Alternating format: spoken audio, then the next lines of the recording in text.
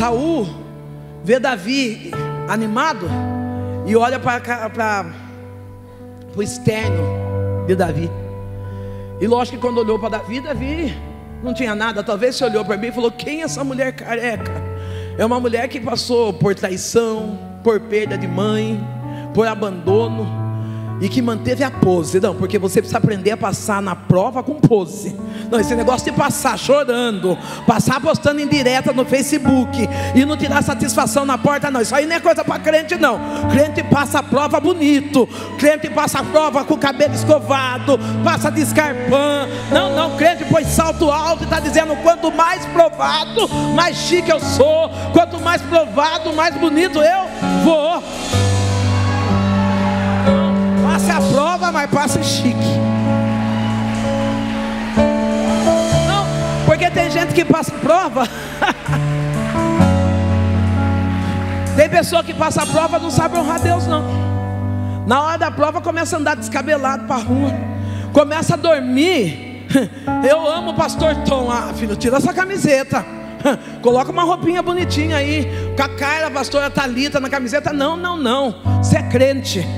Você precisa dormir bonita. Você precisa levantar. Não, a melhor roupa eu ponho para vir na igreja. Não, a melhor roupa eu ponho todo dia, porque eu sou prioridade na minha vida. Eu preciso honrar Deus nas minhas conquistas. Se o diabo pensa que vai ver eu passando prova com roupa manchada de que boi furada, ele se enganou, porque eu venho de escarpão, saia de couro e falo: se Cristo comigo vai, eu vou.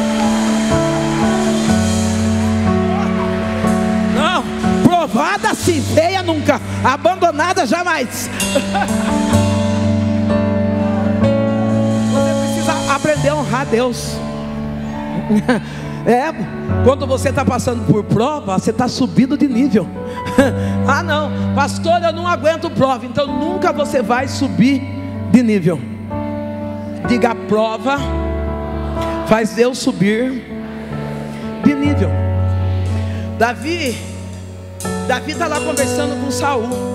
Saul, quando olha para Davi, acha Davi insignificante na simplicidade. Não, porque ser chique é ser simples. Não, não adianta você estar tá aí, porque tem muita gente que veste roupa. Não estou criticando, não estou criticando, porque eu sou bazarzeira, gente. Falou que tem bazar na minha cidade. Eu, eu, vocês sabem, quem assiste sabe que eu gosto de um bazar. Então, estar chique não é estar com roupa zerado de dois, três mil reais, não é isso. Estar chique é estar limpo, sem rasgo, sem mancha, estar bonito, estar arrumado. Talvez Davi estava, o meu Davi, estava um pastor Tom, calça jeans, camisa jeans clara, tênis. Chegou e falou: Ó, oh, Davi, se pá, ô Saul, se pá, eu derrubo esse gigante. Saul falou: Ah, eu estou com toda essa patente aqui, e estou tremendo de medo desse moleque vai querer derrubar o gigante. Vamos fazer o seguinte: pega a minha farda. O segredo não está na vestimenta, o segredo está na unção, o segredo está no princípio de honra. Não, o segredo não está no que será, não. Pega a minha farda, a gente pensa que não, quanto mais roupa cara eu uso, não, não. Quanto melhor eu estou por dentro, eu transmito o melhor meu para o lado de fora. Diga, se eu estiver curada por dentro, eu vou transmitir para o lado de fora. Ele pega a roupa de Saul e ele é humilde. Porque nos primeiros passos ele entende que ele não consegue andar. Está desconjuntado, sabe o que ele faz? Ele vai lá e devolve a farda para Saul. Hum. Quem sabe honrar, não deixa as coisas no meio, devolve para o dono. Hum. Não, quem, quem tem princípio de honra, não deixa pastor na mão, não, dizendo assim, não, daqui a pouco ele vem, ele já está aí, já vai abrir a porta. Não, eu sei honrar, pastor, olha, eu vou trabalhar hoje, não consigo abrir a igreja, eu estou passando a chave para. A, B, C, eu estou entregando para o Senhor. Não, quem sabe honrar, não precisa usar armadura de ninguém, não precisa se fantasiar de nada. Eu mesmo, eu sou assim, eu sou sincero, eu sou simples e eu quero te honrar. Volto lá, Noemi. Teve uma crise de identidade, digo uma crise. Quantos de nós, não, não levanta a mão não. Quantos de nós estamos passando por crise? Tem hora que a gente levanta, e a gente levanta cantando uns corinhos de fogo. Eu calcei sapato de fogo, não posso me controlar. Mas tem dia que a gente levanta e diz assim: Oh Senhor, limpa dos meus olhos toda lágrima. cura a ferida, a dor do meu coração. Quantas dores nós temos vivido. Noemi conta e órfã volta. órfã foi sincera. Eu não sei se você está perto de uma amiga ou de um amigo. Ou talvez você está até perto de alguém que nos seus momentos mais difíceis fez, se deu de lesado, se deu de bobo, tipo assim, não, eu não estou entendendo, e não fez nada para te ajudar. Não, não olha para ele não, agradeça, porque Deus conhece a sua estrutura. Ele sabia que você ia suportar essa prova sozinho. Mas quem sabe você teve a sorte como eu tive, de Deus te dar uma Ruth. A Ruth disse assim: Não peça para que eu vá embora. Aonde você for, eu vou com você. Meu Deus, que coisa linda. Não peça para que eu te deixe. Não peça que eu deixe você passar essa prova sozinha, essa dor. Ah, eu sei que você está amarga agora, mas eu quero ficar do seu lado. Eu quero que você acredite que ainda existem muitos homens e mulheres de Deus. Eu preciso carregar com você o propósito que Deus tem na sua vida. Tem Ruth aqui que está disposto a andar com alguém fracassado, deprimido, endividado para dizer: vai chegar uma hora que Deus vai te honrar e eu estou do teu lado. Vai chegar uma hora que Deus vai te exaltar e eu estou do teu lado. Eu não vou te abandonar. Eu estou do teu lado. Você pode bater no ombro da tua amiga aí e dizer assim: pode contar comigo. Eu estou do seu lado. que coisa linda.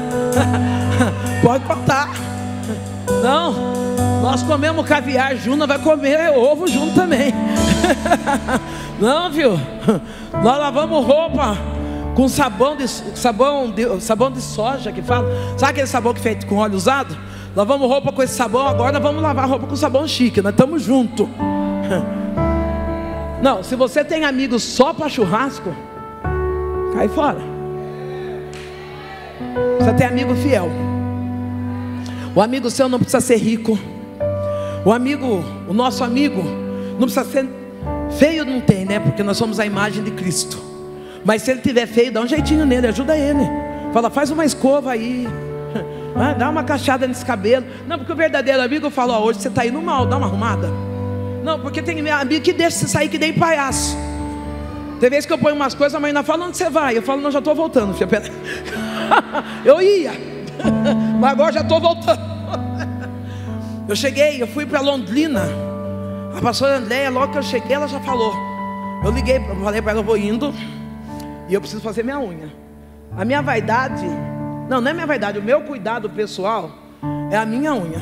Um dia um moço falou para mim assim: Você não tem medo de subir no altar e pregar com essa unha de Jezebel? Foi para ele, você está enganado. Jezebel seduzia profeta, não pintava a unha. Ela não era manicure, ela seduzia profeta. Largue mão de inventar pecado aonde não existe. Ei, se o problema de Jezebel fosse só unha, era fácil. Ela manipulava, manipulava os líderes da igreja. Ela mandava em pastores, em profeta. Então, ó, se não aceita meu jeito, é simples. Exclui lá. Não fica murmurando, não. Vai fazer falta porque eu te amo. Mas a sua murmuração pode atrapalhar a fé de alguém. Deleta. Eu, quando uma coisa faz mal para mim, eu tenho saúde mental. Vou lá e excluo. Eu não fico chorando. Não. Ai meu Deus, olha o que falaram de mim. Eu vou lá, delicadinho, pá. Não me acrescentou. Exclui. Aprenda a fazer. Não fica respondendo, não. Exclui mesmo. Não perde tempo em responder, não. Ruth vai. Ruth já não está indo com Noemi, porque Noemi quer dizer agraciada. É isso, meu pastor. Agraciada é uma pessoa cheia de graça. Agraciada é uma pessoa que é banhada na bondade de Deus. É isso que dizia Noemi. Quando Noemi chega em Belém, tem festa esperando ela. E ela diz assim: Não, não me chama mais de Noemi, não. Agora eu sou Mara. Eu estou amarga. Oh, que é isso? Você está chorando porque você está voltando para a casa do pão? Você está chorando porque você está voltando no estado original do que Deus fez para você? Não, tem muita gente que não aceita dizer, não, eu não queria voltar naquele emprego, eu não queria voltar naquela casa, e Deus está dizendo assim: eu estou mudando a rota, eu estou te conectando novamente para o caminho da sua vitória. eu não tenho mais alegria, eu estou amarga. Tem uma moça de blusa. Já vou parar, viu, meu pastor? Eu estou conectada. 10 horas eu entrego para você. Tem uma, uma moça de blusa cor de vinho. Fica de pé, linda. Você, minha amada. Noemi, embora ela tivesse o nome original, o nome de registro, que significava agraciada, aquele momento ela estava amarga. Você está amarga. oh, de Kira de Sudeste. Ela chegou amarga porque ela estava carregando as dores do passado na costa. Quantas dores do passado que você está carregando, hein? Oh meu Deus, alamando de que refolve Elebianda Shibirécia. Enquanto Deus está me usando para falar contigo, eu estou toda arrepiada. Ele é que rebácia. O Eterno diz assim: ela tem carregado uma mochila de dor, uma mochila de decepção. E ela diz assim: Olha, por mim eu parava com tudo agora, por mim eu deixava tudo agora, eu não aguento mais. E você disse assim: Nem quero que fale comigo em profecia, porque eu já cansei de não ver cumprir o que Deus falou. Mas Deus me trouxe nessa noite para dizer: Ei, você não é amarga, você é uma mulher agraciada.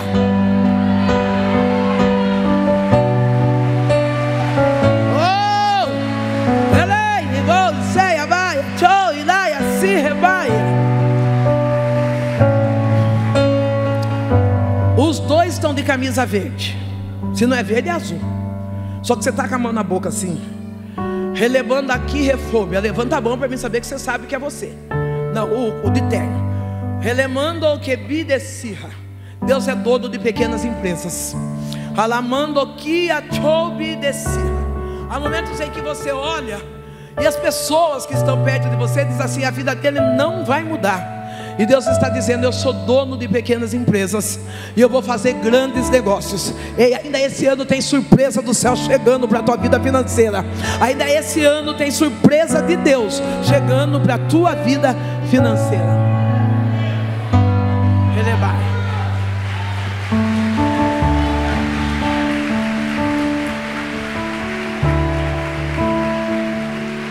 Ruth vai. Ruth vai com aquela mulher amarga. Talvez eu já fui amarga. Eu houve um tempo na minha vida que eu tive momentos de muitas perdas. E eu creio que a mais difícil foi a perda da minha mãe, sou filha única. E na perda da minha mãe, eu perdi um pouco da minha identidade. E quando eu ia buscar Deus, Deus dizia para mim assim: fica em Jerusalém. Eu entendi que eu precisava honrar Deus. E dentro da minha casa, o que tinha, num dos, durante vários meses, eu tomei banho de sabão. E não era nem um sabão inteiro, era metade de um sabão, porque um sabão eu colocava para mim tomar banho, uma parte, e outra parte eu deixava para lavar louça. O que eu tinha em casa era óleo e arroz. É o que tinha dentro da minha casa. Eu subia no altar toda linda, bem arrumada, porque eu queria, quero honrar Deus em todo o tempo. Eu subia linda. Eu subia tão linda que a minha perna brilhava, porque o meu hidratante era óleo soia. Eu passava aquele óleo soia e ficava aquela preta lunática brilhando. E as pessoas olhavam, mas como linda, é linda. Cheirava sabão e óleo. Um dia no ápice da minha amargura, eu disse para Deus: Eu não aguento mais. Faz alguma coisa por mim. Eu já não aguentava mais ir almoçar na casa de amigas e eu disfarçava num potinho de margarina, dizendo assim: ah, Você não coloca janta aqui? Para mim não precisar fazer comida. Eu não tinha o que fazer dentro da minha casa. Mas eu sabia que eu não podia contar para minhas amigas: Eu estou passando fome, eu não tenho perfume. Eu não queria contar. Falei: Preciso honrar Deus nessa prova. E um dia eu pregando, com a perna toda cheia de óleo, sabão. Deus se levanta e diz: Eu sou o teu, eu sou o teu marido. Aquilo bateu uma dor no meu coração. Eu cheguei no, no lugar onde eu estava sentada, no lugar dos pastores, a lágrima desceu. E eu quero que o marido preste bem atenção nisso. A lágrima desceu dos meus olhos e eu disse: Deus, marido, marido dá presente, marido elogia, marido da bolsa, da crepe, marido da perfume. Deus, eu não tenho nada.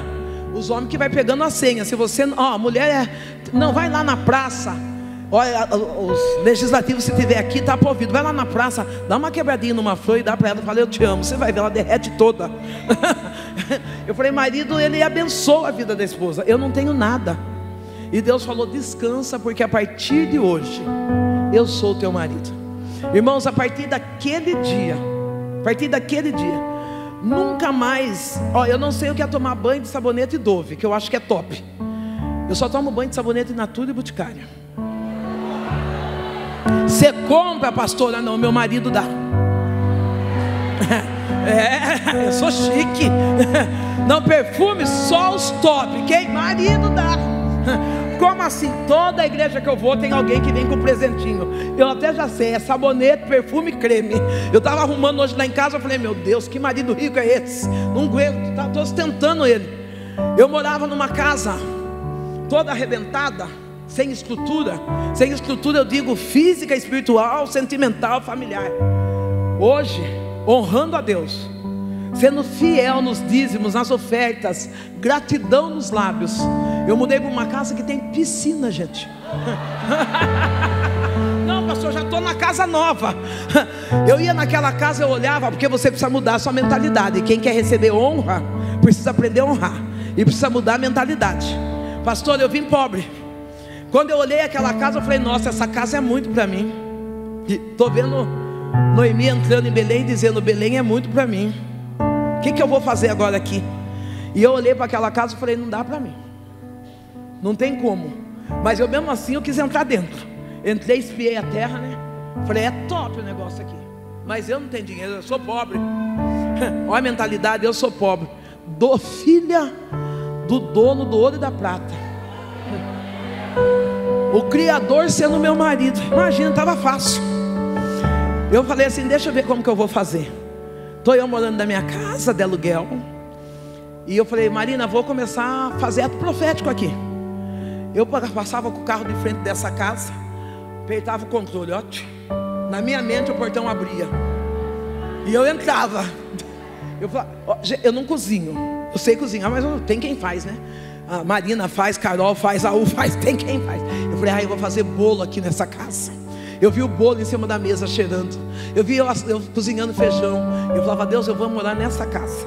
Teve um dia de noite que eu desci e ungi o portão da casa. Imagina de noite, no escuro, eu no portão, as câmeras filmando eu. E eu dizendo, eu declaro, essa casa é minha. Eu imagino o dono da casa dizendo, chama a polícia. O cachorro começou a latir, eu falei, vai pegando sua casinha, filho, porque eu vou entrar aí. Vai ajeitando sua mala aí. Aí Deus me deu uma estratégia. Sabe por que tem hora que nós não conseguimos alcançar as coisas? Porque nós amaldiçamos outras pessoas. Eu poderia falar, tira eles daqui, Deus. Eles que se virem. Eu falei, não, Deus, abençoa quem mora aí dentro. Que eles fiquem tão bem, tão prósperos. Que eles achem uma casa muito melhor, mas muito, muito melhor do que essa. Que eles vão viver os sonhos deles. Um dia, sete horas da manhã, meu telefone toca, eu atendo. Oi. Ele falou assim: Oi, aqui é fulano de tal. Eu falei: Oi, tudo bem? Você ainda quer morar na casa? Eu falei: Eu quero. Ele falou: Porque o pessoal está saindo, está indo embora para os Estados Unidos. A próxima inquilina é você. Entrei, gente.